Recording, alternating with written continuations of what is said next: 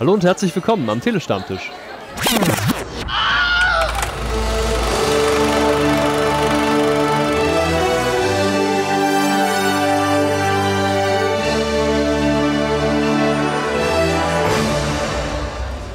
Wie fängt man jetzt möglichst originell mal diese Besprechung an? Ja, mir fällt nichts ein, deswegen mal ganz oldschool, liebe Freunde. Drei neue Besprechungen, dreimal der Telestammtisch, dreimal tolle Redakteure aus unserem Team. Und heute mal zum Anfang. Macht doch einfach mit. Mehr dazu am Ende. The Secret Life of Whales. Das geheime Leben der Wale ist eine neue Dokumentationsreihe auf Disney Plus. Und die haben sich Frosty und Christoph angesehen. Und beide sind, so viel kann ich vorweg sagen, fasziniert von dieser Doku-Reihe, die einmalige und neue Einblicke in das Leben von Wahlen gibt. Große Bilder, wertvolle und spannende Infos. So sollte Docutainment gehen. Stu und Tilo laden danach ein zur blutigen Vorstellung. In Red Screening nutzt ein Killer die Dunkelheit des Kinos, um zu morden. Wird er gestellt? Wer ist es überhaupt? Fließt viel Blut? Ich weiß es nicht. Ich weiß nur, es hat ein FSK 18 und wird sicher seine Fans finden. Die heutige Reihe beenden wir mit einer weiteren Dokumentation, die sich Frosty und Patrick angesehen haben. Ist es möglich, ein neues Leben zu beginnen, wenn man vorher Teil einer terroristischen Organisation war? Scars geht dieser Frage nach und begleitet eine ehemalige Mitstreiterin der Tamil Tigers. Keine ganz leichte Kost und sicherlich auch ein Film, für den man sich ein bisschen vorbereiten muss. Hört einfach mal rein, vielleicht interessiert euch das. So, Foreshadowing hat ein Ende. Hier ist es macht doch einfach mit. Tretet in Kontakt. Wir suchen immer nach neuen Kollegen, die Bock haben, unseren Podcast mitzugestalten. Wenn ihr wollt, könnt ihr auch schnödes Geld übersenden. PayPal Me, Buy Me Coffee, das findet ihr alles in den Show Notes. Hinterlasst gerne mal ein Feedback. Wir freuen uns darüber. Haut rein. Hallo, Freunde des Meeres und mediterraner Ernährung. Ich bin Christopher. An meiner Seite heute ist Frosty. Hallo. Und wir sprechen heute über die vierteilige Doku-Reihe Die geheimnisvolle Welt der Wale. Sie ist, wie schon erwähnt, vierteilig, a 45 bis 50 Minuten und wird ab dem 22. April auf Disney Plus zu sehen sein. Produziert wurde sie vom Naturdoku-Veteranenclub National Geographic. Und als Executive Producer haben wir hier einen ausgesprochen bekannten Namen, nämlich James Cameron himself. Der Mann, der wie kein anderer Regisseur besessen ist vom Meer. Und von Technik. Und von 3D. Und von Maschinen. Aber hier geht es ausschließlich um seine Meeresbesessenheit. Als Erzählerstimme haben wir hier auch eine gute Vertraute von ihm, nämlich Sigourney Weaver. Und Frosty, was genau erwartet uns in die geheimnisvolle Welt der Wale? Also, ähm, wie du es schon erwähnt hast, es sind ja vier Folgen und jede dieser Folgen ähm, konzentriert sich auf eine Wahlart. Dann haben wir als erstes, äh, geht es dann los mit den Orcas, die halt leider als Killerwale bekannt sind. In der zweiten Folge geht es dann um Buckelwale. In der dritten um die einzigen wirklich weißen Wale, nämlich die Belugas und um ihre Verwandten, die Narwale. Das sind die mit dem äh, mit diesem langen Zahn, der so ein bisschen wie ein Dolch nach vorne ausgestreckt ist. Ähm, von, die halt sehr selten sind, weshalb es wenige Bilder von denen gibt und weshalb es so toll ist, dass es von diesen da so schöne Bilder gibt. Und dann gibt's in der letzten Folge die sanften Giganten, die großen Pottwale. Ganz und, genau. Und ich weiß nicht, wie es dir ging, aber wenn ich die Serie in einem Satz zusammenfassen müsse, dann wäre das, wow, was für fantastische, wunderschöne Bilder. Also, das ist, also man kriegt ordentlich eins auf die Augen. Es ist so schön. Man erfährt halt auch jedes Mal so ein bisschen was über die einzelnen Wale. Und ähm, Sigourney Weaver hat auch einfach eine tolle Stimme und spricht schön deutlich und klar, dass man dem auch super folgen kann. Ähm, ist so ein schönes optisches und akustisches Gesamtkunstwerk für mich. Das trifft es ziemlich gut. Also für mich muss ich sagen, war das das allererste Mal, dass ich eine National Geographic Doku gesehen habe. Ich bin schon beeindruckt gewesen, wie cineastisch das Ganze hier aufgebaut war. Du hast schon erwähnt, die Bilder sind absolut fantastisch, ein absoluter Rausch und auch der Soundtrack, mit dem das untermalt wurde, das kam für mich insbesondere in der zweiten Episode, wo es um die Buckelwale ging, sehr schön zum Vorschein. Der hatte Dramatik, der hatte was Rührendes, der hatte was äh, Majestätisches. Der Soundtrack war äh, wirklich kinoreif. Mhm. Ist bei dem Produzenten ja wohl auch kein Wunder.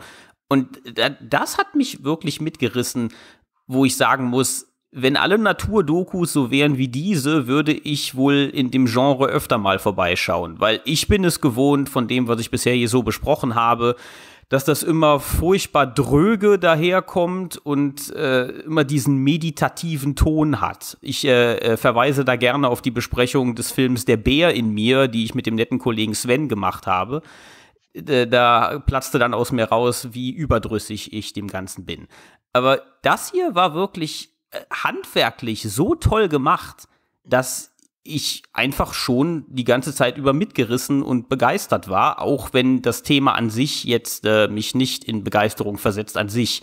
Aber ähm, die Informationen, die auch dargeboten wurden, die ähm, sind auch durchweg haften geblieben, einfach auf der Art, durch die Art und Weise, wie es präsentiert wurde. Ich meine, nach der ersten Folge hat man ja den Eindruck, Orca-Wale sind die größten Badasses der Meere. Da, da, die können ja wirklich alles. Und das sind Dinge, die wusste ich zum Beispiel noch gar nicht. Ja. Ja, das fand ich halt auch spannend irgendwie. Also ich kenne halt hauptsächlich so, ich bin mit diesen Jimmack äh, und Sielmann äh, Tierdokus groß geworden und die sind ja sehr oft so ein bisschen auch so in der Richtung irgendwie, oh, wir versuchen jetzt irgendeine Geschichte zu erzählen und dann hat man oft dann irgendwie immer so dieses gleiche irgendwie, oh, und dann werden Tiere gerissen und dann werden die gefressen und dann muss dann auch irgendwo noch ein Paarungsvideo sein und so. Und hier ist es mehr, dass nicht geguckt wird irgendwie, oh, wie kriege ich eine Geschichte zurück, sondern es wird halt wirklich beobachtet und dann das, was diese Tiere einzigartig macht, irgendwie bei den jeweiligen Wahl, Wahlen dann herausgearbeitet.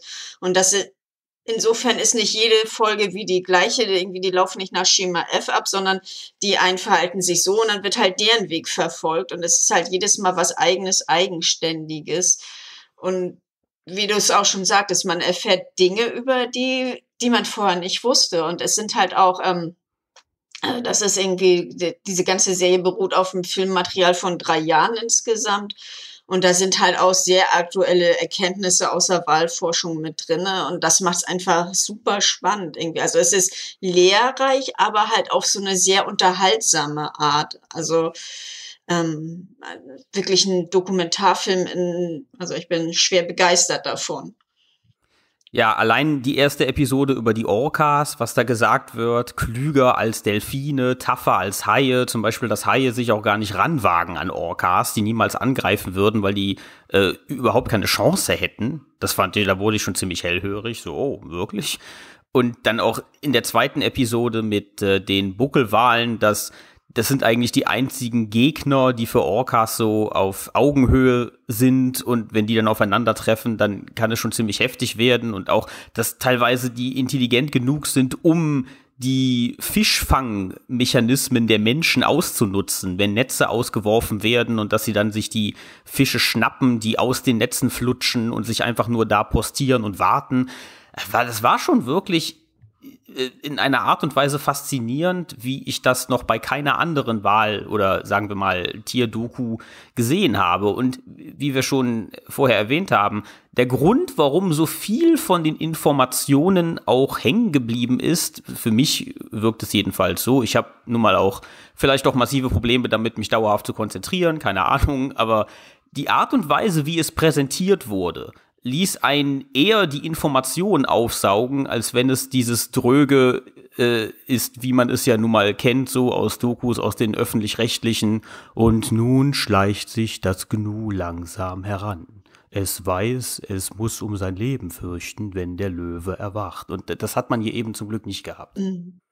Was ich auch ganz schön fand, war so dieser Fokus halt auch ähm, auf das Sozialverhalten und das soziale Leben mit denen, von denen wo man erstmal nahegebracht hat, wie, was für soziale Tiere das sind und dass sie halt so richtige gemeinsame Taktiken auch haben. Irgendwie, da wird eine Jagdtaktik, ähm, ich glaube, das war, war das bei den Belugas war das, glaube ich, wo die dann quasi so eine P-förmige Spirale dann irgendwie abtauchen. Äh, quasi in Gemeinschaft irgendwie so sich dann erstmal gegenseitig beibringen, oh, so funktioniert eine Jagdtechnik und dann haben die auf verschiedenen Orten der Welt dann halt auch unterschiedliche Jagdtechniken, wo man dann halt merkt, das sind halt wirklich unterschiedliche Kulturen in Anführungszeichen so unter den einzelnen ähm, Wahlen und die passen sich halt sehr explizit dann auch der jeweiligen Umgebung an. Ja, man, man, man muss hier nicht zu irgendwelchen äh, äh, reißerischen äh, Mitteln greifen, um die Tiere mhm. zu vermenschlichen. Man kriegt Eben. diesen Respekt schon einfach, indem man sieht, was sie alles können mhm, und, genau. und, und, und was für unterschiedliche Dinge sie tun. Du hast da ja diese Stelle im zweiten Teil mit den Buckelwahlen, wo du irgendwie hörst, dass sie bestimmte Töne absondern und das wird dann schon praktisch schon so eine Art Wahlkonzert, wie was sie da für Töne abgeben, um mit den anderen zu kommunizieren. Oder auch die, die Stelle mit den, war das mit den Orcas, wo man sieht, was die für eine lange Strecke zurücklegen, um dann eben alle zusammenzukommen an so einem bestimmten Ort, wo sie sich reinigen und essen und entspannen? Nee, ich glaube, genau das waren die Belugas mit diesem irgendwie Richtig. Spartag und irgendwie die äh, Buckelwale waren das auch mit dieser P-förmigen äh, mit diesem Bubble-Net-Fishing haben die das genannt. Also die machen dann so Bläschen und dadurch werden dann die Fische so nach oben gespült und dadurch irgendwie machen die dann dieses P-förmige Spirale dann nebeneinander, so dass die Fische dann quasi alle zu einem Punkt dann irgendwie getrieben werden und dann sieht man, wie dann die Wale in der im Mittelpunkt dieses P-Kreises irgendwie dann hochkommen und dann quasi einmal Mund auf und rein mit dem ganzen Fischzeugs. Also alleine diese Bilder irgendwie so, weil das waren echt so perfekte Ps irgendwie so die von oben, die so ineinander verschlungen waren. Also ja, ich habe auch an sprachlos irgendwie so. Ich weiß, weil die Dinge, wo man doch denkt, der, der, der Alltag von Tieren ist ziemlich simpel, aber was die Wale alles tun und, und auch vor allen Dingen die ähm, umweltfreundliche Botschaft hier, die mhm. kommt auch nicht mit dem Holzhammer ja. daher, weil hier auf ganz einfache Art und Weise erklärt wird, was, was alles wegfallen würde, wenn man eben bestimmte Walarten komplett, komplett ausrottet und sie nicht mehr Teil des Ökosystems sind. Du hast da jetzt zum Beispiel auch eine Stelle, ich weiß nicht mehr, welche Sorte es war, da siehst du, wie die Wale ihren Kot absondern und es wird gesagt, dass andere Fische diesen Kot auch fressen. Mhm. Und dass sogar komplette Fischarten scheinbar durch den Walkot am Leben erhalten ja. werden dass es halt alles sehr subtil ist irgendwie. Also man hat nicht das Gefühl, ich werde jetzt hier mit dem erhobenen Zeigefinger in eine Richtung gedrängt, sondern es wird halt einfach auch gezeigt, so irgendwie. Ähm, das fand ich halt irgendwie schon gut, dass es halt gezeigt wird, welche Auswirkungen halt das menschliche Eingreifen ähm, in die Natur hat, auch irgendwie der ganze Plastikmüll, ohne dass er jetzt irgendwie groß irgendwie der Zeigefinger erhoben werdet, so ihr müsst jetzt alle nur noch irgendwie auf sämtliches Plastik verzichten und jetzt müssen alle irgendwie ihr ganzes Leben umkrempeln. Also so kommt's halt nicht daher. Irgendwie es erlaubt einem so die eigenen Schlüsse zu ziehen und sein eigenes Verhalten zu reflektieren. Oder man kann es halt auch komplett ble bleiben lassen. Man kann sich auch einfach nur auf die schönen Bilder konzentrieren und sich total von der an sich äh, ja umweltfreundlichen Botschaft äh, distanzieren und sich darauf nicht einlassen. Das geht auch, weil dafür ist, ist halt äh, genug Optisches zum Angucken. Ja. Ganz genau. Denn bei früheren Dokus, die ich hier besprochen habe, habe ich oft das gleiche Fazit gehabt. Das wäre als 20-minütiger Beitrag in den öffentlich-rechtlichen okay, aber für eine 90-minütige Doku, die im Kino läuft, war das definitiv zu wenig. Hier bin ich der Meinung, wäre das nicht ein Vierteiler für den Disney Channel äh, beziehungsweise für Disney Plus, sondern würde man das irgendwie zusammenschneiden und irgendwie ein bisschen kürzen, würde das prächtig im Kino funktionieren, weil die Bilder und der Sound es einfach hergeben. Ja, definitiv, ja wo ich so ein bisschen Kritik an der Serie habe, dass halt die Folgen am Ende immer damit äh, abschließen, dass James Cameron nochmal dann ins Bild kommt und nochmal was dazu sagt. Und das ist dann manchmal etwas sehr pathetisch und sehr oft einfach total überflüssig, weil Sigourney Weaver irgendwie das Inhaltliche alles schon hervorragend erzählt hat, wo ich mir gedacht hatte, okay, diese fünf Minuten, die hätte die einfach bleiben lassen können. Oder siehst du das anders? Nee, das stimmt schon. Was er da erzählt hat, ist ja auch nichts, was man jetzt in den 45 Minuten davor nicht schon erfahren hat. Das war einfach nur, ja, das ist toll, was wir hier gesehen haben, oder? Unglaublich. Und äh, ich bin immer wieder fasziniert davon. Ja, Jim, das wissen wir, deswegen produzierst du ja auch diese ganzen Sachen. Ja, genau. Gut, wenn du weiter nichts mehr hast, könnten wir dann zum Fazit kommen. Ja, da würde ich sagen, dann vergebe ich vier von fünf Wahlen, äh, nee, 4,5 von fünf Wahlen, weil die 0,5 äh, Minuspunkte, die gehen dann zu lassen von James Cameron, der da unbedingt seine Nase in die Kamera halten musste, um uns zu erzählen, wie gerne er tauchen geht. Ja, Aber ansonsten totale Cook-Empfehlung. Ja, von mir auch. Ich gebe vier von fünf Wahlen. Vielleicht, weil ich das Ganze jetzt in einem Rutsch geguckt habe und dann äh, wirkte, war ich hier und da doch ein bisschen müde, aber äh, trotz alledem war das wirklich sehr beeindruckend. So müssen Naturdokus meiner Meinung nach sein. Packend, auch in vielerlei Hinsicht emotional berührend, aufwühlend, aber und durch und durch bei natürlich ähm, informativ. Ja. Und das, das, das war das hier alles. Das ähm, hat mir Spaß gemacht. Sowas in der Richtung würde ich mir auch gerne wieder ansehen. Und äh, ja, von sowas bitte mehr. Also äh, es, es geht immer da, was Informationen dieser Art betrifft, es geht immer darum, wie man es präsentiert. Dementsprechend äh, entwickelt das dann auch eine gewisse So-Kraft, weil man könnte exakt die gleiche Doku mit exakt dem gleichen Inhalt eben auf diese andere dröge Art und Weise machen, wie ich das vorhin beschrieben habe. Und dann würde man sich denken, ja, was habe ich da eigentlich gerade gesehen? Wale, Wale und Wale, aber so viele Infos wären dann wahrscheinlich doch nicht hängen geblieben. So macht man es meiner Meinung nach richtig. Und ja, auch vier von fünf von mir. Und damit sind wir am Ende. Wir tauchen jetzt wieder ab. Ich bedanke mich bei dir, Frosty. Und ich äh, bedanke mich bei dir, möchte aber noch den Hinweis anklatschen, ähm, dass man, wenn man uns gerne zuhört und uns auch zukünftig gerne zuhört und ähm, ja, wir sind halt Community-unterstütztes Projekt. Das heißt, wenn ihr uns was äh, Gutes tun wollt, könnt ihr äh, mal in unsere Shownotes beziehungsweise in die Infobox gucken, dort, wo ihr uns gerade gehört habt. Und äh, dort erfahrt ihr dann, wie ihr uns unterstützen könnt, falls ihr das möchtet. Wenn nicht, könnt ihr uns natürlich auch immer wieder so gerne zuhören. Und das war's dann auch von mir. Vielen Dank fürs Zuhören. Ciao, ciao. Tschüss. Hallo, liebe Telestammtischhörer und liebe Filmfreunde. Hier ist wieder Thilo, der alte Schwede aus München. Und heute möchte ich mit euch wieder ein wunderschönes Schmankerl besprechen. Es geht um den Film Red Screening. Und zum Glück muss ich das wieder nicht allein machen, sondern der liebe Stu ist da. Hallo, Stu. Hallo zusammen, hallo Thilo. Ja, Stu, äh, wir haben ein, ähm, ja, ich würde mal sagen, schon ein bisschen spezielles Machwerk uns ähm, zugetan. Es ist nämlich ein Film aus Uruguay und wir haben schon gerade so ein bisschen gefachsimpelt und ich glaube, es ist der allererste Film überhaupt, den ich aus Uruguay je gesehen habe. Wie ging es dir denn da? Ich müsste auch äh, tief graben, aber ja, der erste Spielfilm. Ich habe von dem Fede Alvarez, dem Evil Dead Regisseur, dem sein Kurzfilmdebüt gesehen. Also Kurzfilm kann ich, äh, kann ich einen Strich machen, aber bei Langfilm, glaube ich, ist das auch mein erstes Mal. Okay, also auch du quasi da äh, noch jungfräulich gewesen. Ähm, man muss dazu sagen, Red Screening ähm, heißt der Film äh, Blutige Vorstellung, so der deutsche Untertitel, von 2020.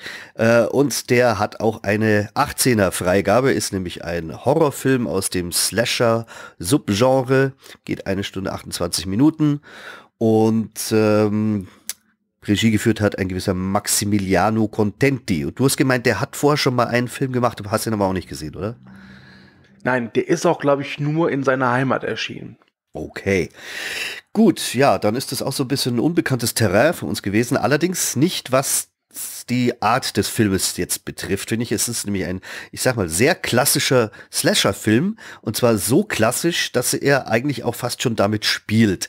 Ähm, macht's mal kurz abreißen, worum es da geht.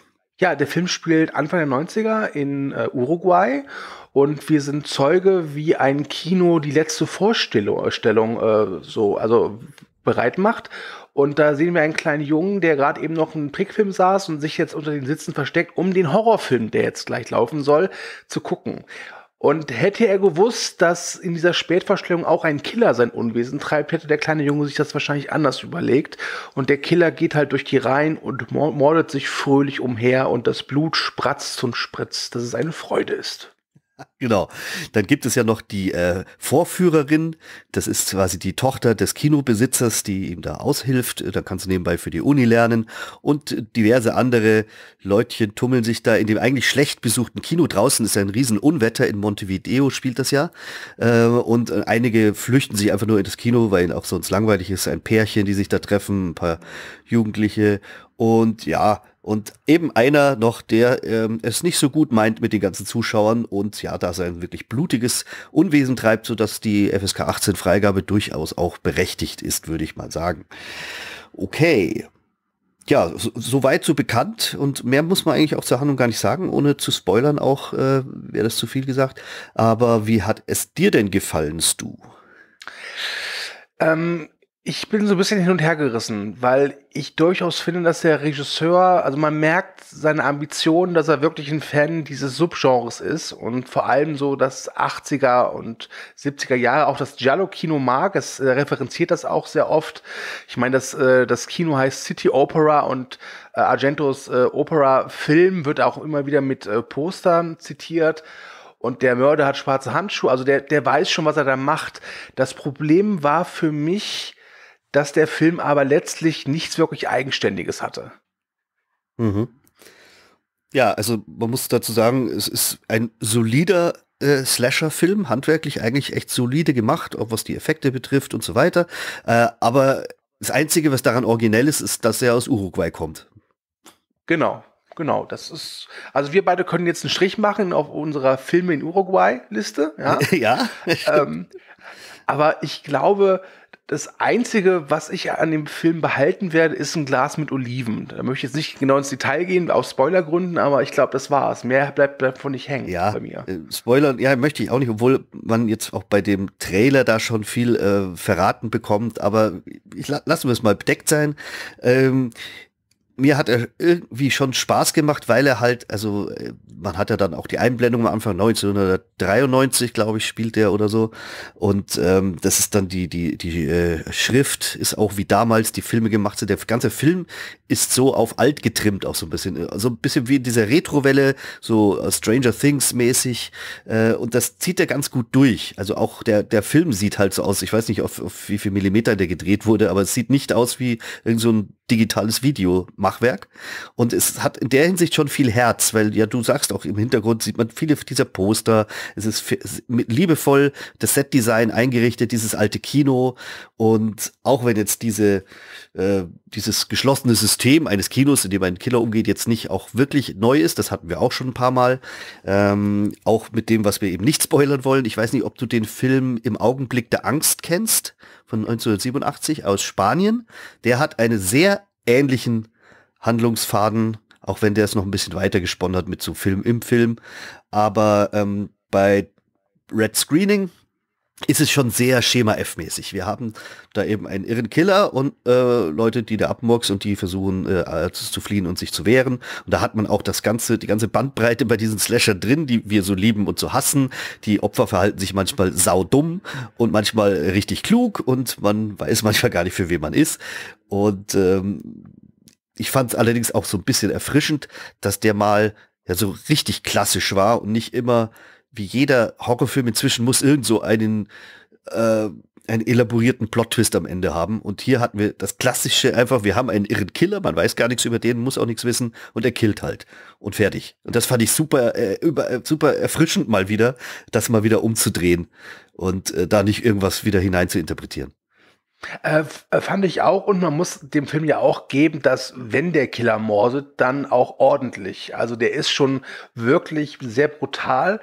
Ich war sogar ein bisschen überrascht, dass er es un also uncut durch die FSK geschafft hat, mhm. ähm, weil es gibt wirklich ein paar also Holler-Szenen. Ne? Ja, also Slasher-Freunde, äh, äh, Slasher-Genre-Freunde kommen auf jeden Fall auf ihre Kosten, auch wenn der Film das Rad äh, auf keinen Fall neu erfindet. Aber das muss er auch nicht unbedingt. Ich habe mich nämlich in der Hinsicht, wenn ich mich darauf einlasse, sehr gut äh, unterhalten gefühlt. Also die, die, die Kills, da kommt es ja auch immer drauf an, oft bei diesen Filmen. Wie sind die Kills? Wie sind die Kills? Ja, die sind teilweise jetzt auch so nicht, nicht wirklich originell. Es gibt durchgeschnittene Kehlen, Stiche ins Herz. Aber ganz am Anfang ist ein Kill, der ist richtig originell. Das war schon Freitag der 13. mäßig. Und ähm, der Bodycount ist auch ordentlich. Und äh, ja, und die 18er Freigabe hat er durchaus äh, verdient. Und ich fand den so richtig, also für so einen Videoabend auch mit, mit Freunden des Genres, äh, fand ich den schon richtig gelungen. Ja, also ich, ich, ich muss mal echt ankreiden, dass er so an sich nichts Eigenes hat. Aber wenn man ihn wirklich runterbricht und sich darauf äh, gefasst macht, was man da serviert bekommt und man hat einfach nur Lust auf einen, wie schon gesagt hast, total klassischen, im besten Sinne altmodischen, blutigen Slasher, dann wird man mit Red Screening wirklich bestens bedient.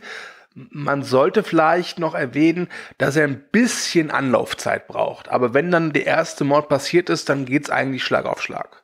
Ja, das hast du richtig schön gesagt. Also es ist äh, tatsächlich klassisch im besten Sinne und äh, so klassisch, dass es inzwischen jetzt auch fast schon wieder originell ist, weil sowas, also sowas altmodisches in Anführungszeichen, hat man auch schon lange nicht mehr gesehen. Das also auch gut gemacht wurde.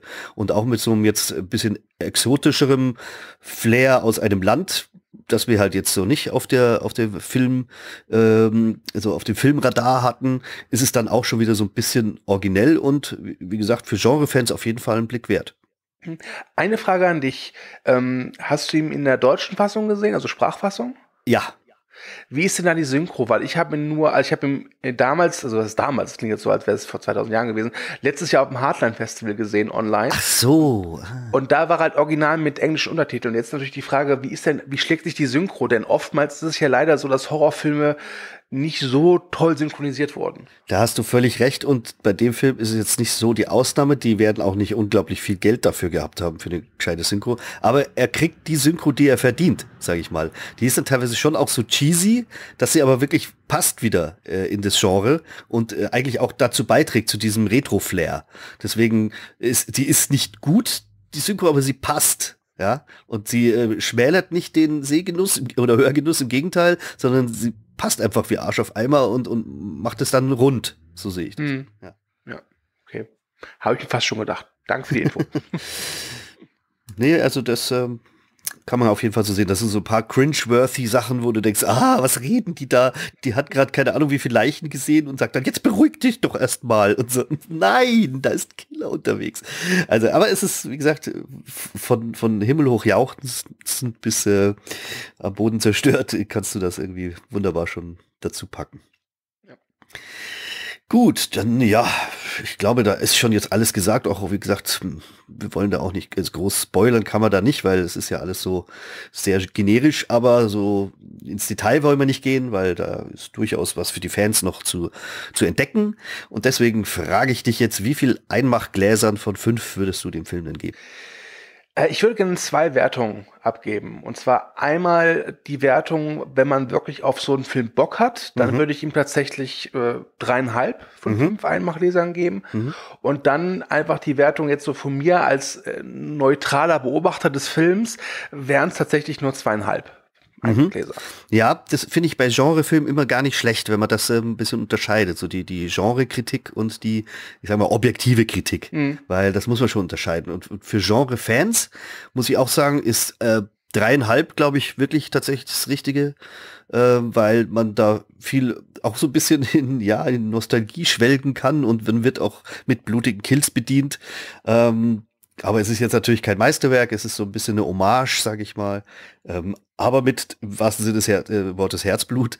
Äh, ja. Aber für Cineasten ist es jetzt nichts. Da würde ich jetzt auch so 2,5 geben, weil es ist ein solider Film, aber der jetzt inhaltlich nicht wirklich äh, jemanden weiterbringt, der sich jetzt da irgendwie Cineastenfutter wünscht.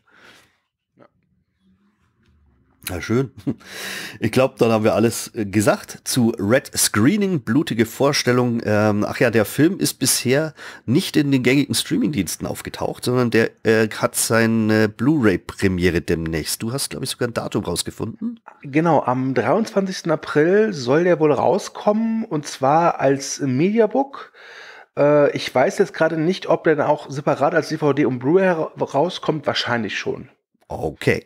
Also Horror- und Slasher-Freunde, haltet Ausschau nach dieser silbernen Scheibe. Sie ist durchaus ein Blick wert für euch. Gut, ja, du, dann hat es mir wieder äh, Spaß gemacht, ähm, mich mit dir durchzumetzeln.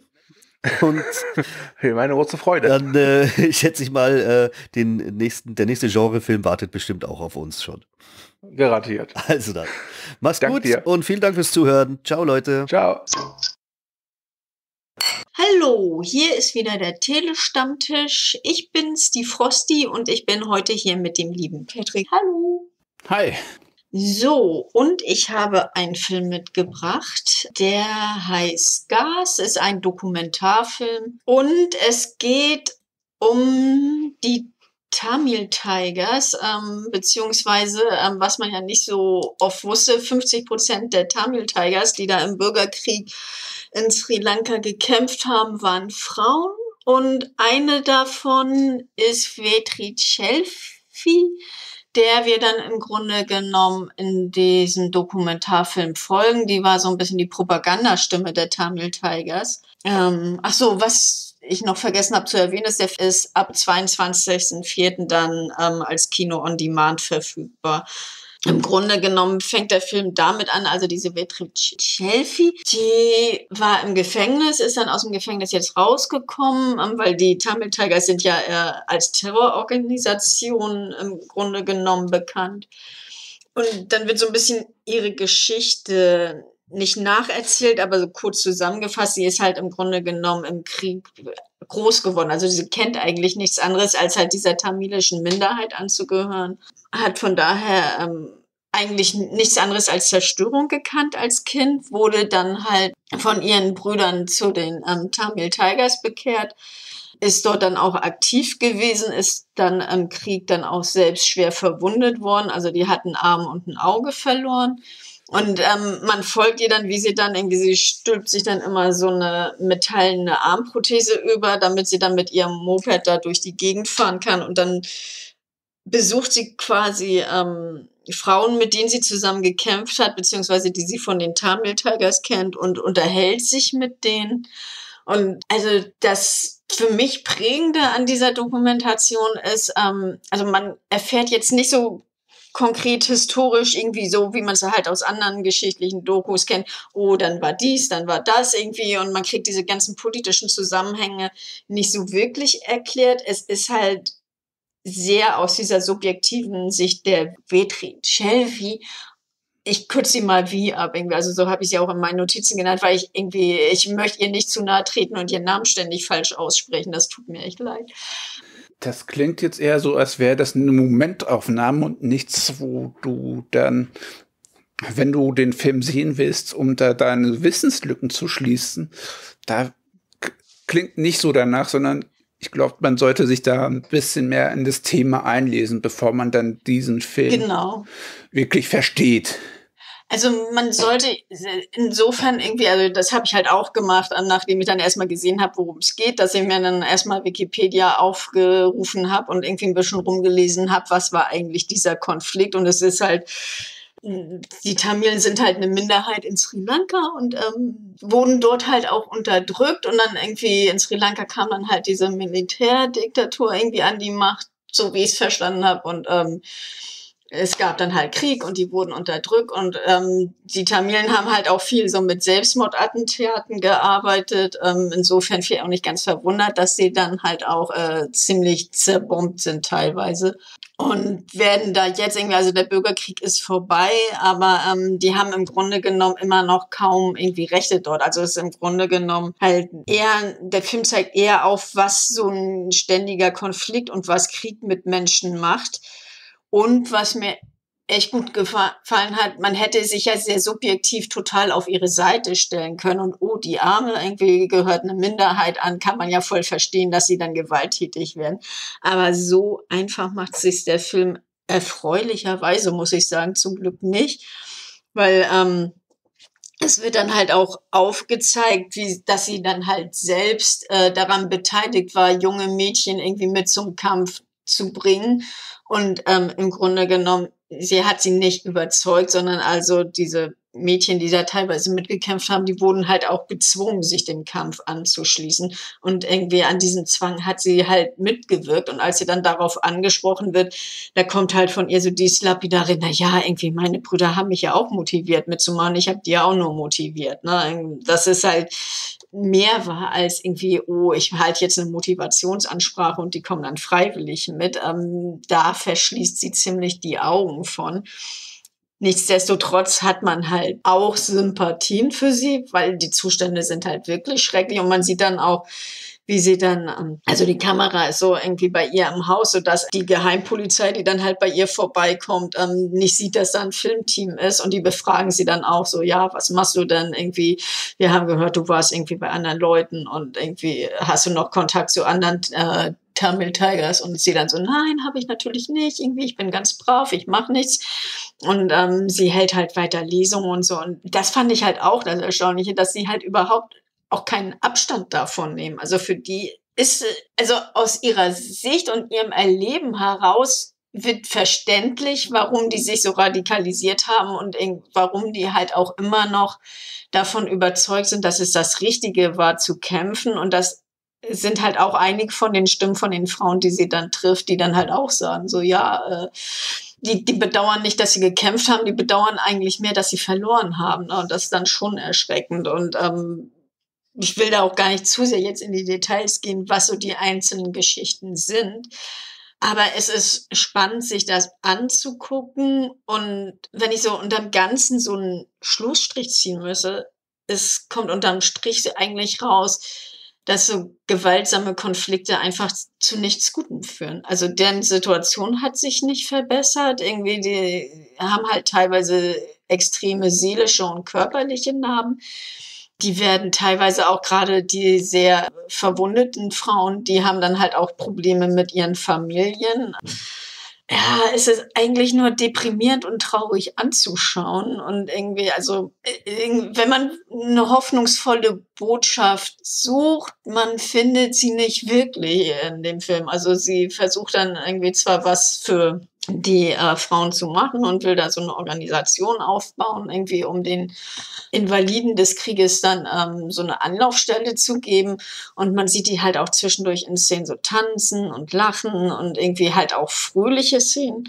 Aber unterm Strich irgendwie hinterlässt es einen dann doch eher, ja, nicht unbedingt mit einem pazifistischen Ansatz, aber schon so, niedergeschlagen. Ja, man, ja, niedergeschlagen und irgendwie man sieht, es ist einfach so sinnlos. Also Gewalt ist einfach sinnlos und es führt zu nichts. Und gerade in diesem Konflikt, irgendwie, die stehen jetzt alle schlechter da als vorher und dass sie auch zu sehen, wie unkritisch sie so mit sich selbst umgeht und dass sie so dies gar kein Bereuen andere Leute damit reingezogen haben und die ja auch so ganz schwer verwundet wurden. Ähm, das ist, es lässt einen echt ratlos zurück irgendwie und lässt einen so ein bisschen fast wie ein sehr deprimierender Roadmovie. Irgendwie am Ende ist sie dann halt wieder bei sich zu Hause. Also sie besucht halt so verschiedene Leute und ähm, da, da kriegt man dann so Einblicke in die verschiedenen Beziehungen, die sie da hat und in die verschiedenen Leben und die Auswirkungen des Konflikts. Also ein schöner Appell gegen den Krieg. Dieser Film, der dann auch schonungslos zeigt, was für Auswirkungen das hat. Sri Lanka hat sich ja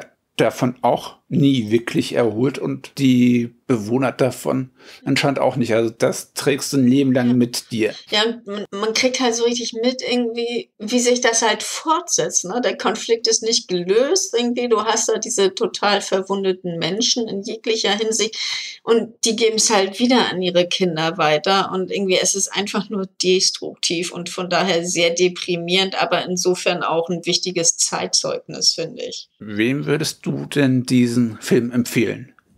jeden, der glaubt, dass man Kriege führen sollte, weil die ja voll gut sind und voll was bringen. Also äh, in gewisser Hinsicht ist es ein toller Appell daran, dass man irgendwie gucken muss, dass man Menschen gleich behandelt, allen Menschen gleiche Chancen gibt, damit es halt nicht zu solchen total sinnlosen Konflikten kommt. Also ich würde sogar sagen, das ist so ein Film, der würde sich anbieten, zum Beispiel für Schulen, wenn man dieses Thema im Unterricht noch so ein bisschen unterstreichen ja. oder untermauern will. Ja.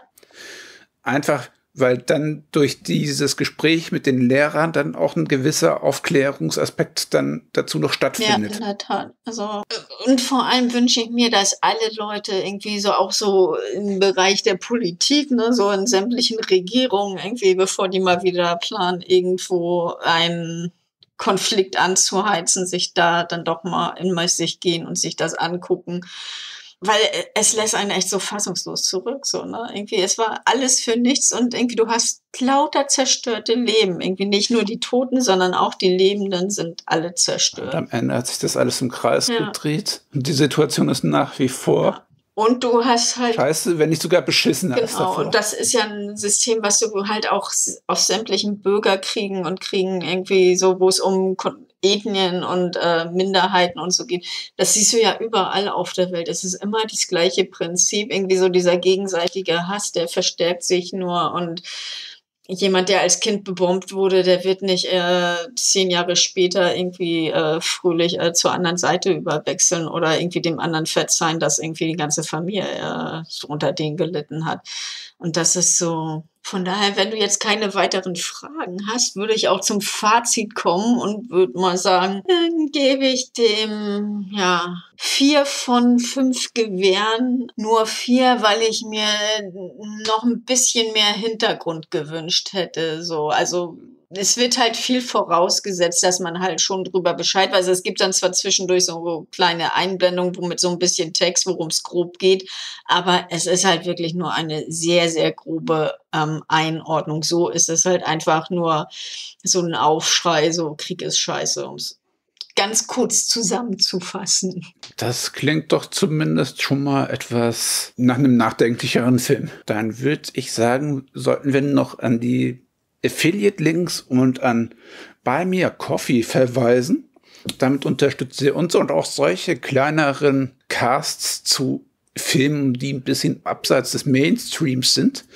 Ihr könnt uns auch natürlich bei PayPal unterstützen, damit wir auch die kleinen Indie-Perlen weiterhin besprechen können und euch ein möglichst breites Spektrum an Filmbesprechungen bieten können. Dann würde ich sagen, bis dann. Bis dann. Tschüss. Ciao. Sehr geehrte Damen und Herren, wertes Publikum, liebe Hörende, vielen Dank für eure Aufmerksamkeit und Zeit. Ich hoffe sehr, euch hat gefallen, was ihr gerade gehört habt. Wir, die Redaktion des Telestammtisch, betreiben ein semi-professionelles Podcast-Projekt zum Selbstmitmachen. Also meldet euch bei uns, wir beißen auf. Außerdem freuen wir uns immer über Feedback via Social Media und E-Mail sowie euren finanziellen Support. Ebenso frohlocken wir förmlich über Bewertungen auf den gängigen Podcast-Plattformen. Wer möchte, darf uns gern immer und überall empfehlen. Alle relevanten Links findet ihr in den Show Notes. Vielen Dank und bis zum nächsten Mal. Euer Andi.